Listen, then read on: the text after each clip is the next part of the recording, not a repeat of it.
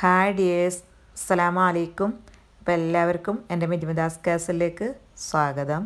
ഞാൻ ഇന്നിവിടെ ക്യാബേജിന്റെ ഒരു ഈസി ഫ്രൈ ആയിട്ടാണ് വന്നിരിക്കുന്നത്. പാനൊന്ന് ചൂടാവുമ്പോൾ അതിലേക്ക് അഞ്ചല്ലി വെളുത്തുള്ളി ചതച്ചത് ഇട്ട് കൊടുക്കാം. അത് ഗോൾഡൻ കളറാവുന്നത് വരെ ഒന്ന് വഴറ്റി കൊടുക്കാം. അതിലേക്ക് നീളത്തിൽ അരിഞ്ഞു വെച്ച ഒരു സവാള കൂടി ഇട്ട് കൊടുക്കാം. നന്നായിട്ട് വഴറ്റി ഫ്രൈ നല്ല ഗോൾഡൻ കളർ ആവുമ്പോൾ അതിലേക്ക് നമുക്ക് കാബേജ് കൂടി ചേർത്ത് കൊടുക്കാം. ഞാനിവിടെ കാ കിലോ കാബേജാണ് എടുത്തിട്ടുള്ളത്. അതിലേക്ക് ആവശ്യത്തിന് ഉപ്പ് കൂടി ഇട്ട് കൊടുത്തിട്ട് നന്നായിട്ടൊന്ന് ഇളക്കി കൊടുക്കുക. കുറച്ച് വഴണ്ടി വരുമ്പോൾ നമുക്കിത് ഒരു അഞ്ച് മിനിറ്റ് മൂടി വെച്ച് വേവിക്കാം. ഒന്ന് പരത്തി കൊടുക്കുക എല്ലായിടത്തും. നല്ല ഫ്രൈ ആയിട്ട് കിട്ടേണ്ടതാണ് നമുക്കിത്. ഒരു അഞ്ച് മിനിറ്റ് കഴിയുമ്പോൾ നമുക്കിതൊന്ന് തുറന്നിട്ട് വീണ്ടും നന്നായിട്ടൊന്ന് വഴറ്റി കൊടുക്കാം.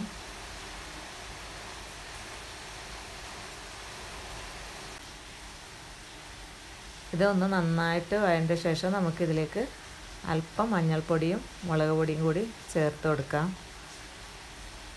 ആദ്യം ഇട്ട് കൊടുക്കരുത് കരിഞ്ഞു പോവും. നമ്മൾ ലാസ്റ്റ് ഇടുന്നത് അതുകൊണ്ടാണ് ഞാനിതിലേക്ക് തക്കാളിയും ചേർത്ത് കൊടുക്കുന്നില്ല. നിങ്ങൾക്ക് ഇഷ്ടമാണെങ്കിൽ ചേർത്ത് കൊടുക്കാം. ഞാൻ ചേർത്ത് കൊടുക്കാറില്ല. ഇതിങ്ങനെ തന്നെ കഴിക്കാൻ നല്ല ടേസ്റ്റാണ് അര ടീസ്പൂണ് മഞ്ഞൾപ്പൊടി രണ്ടര ടീസ്പൂണ് മുളക് പൊടി കൂടി ഞാൻ ചേർത്ത് കൊടുത്തിട്ടുണ്ട്.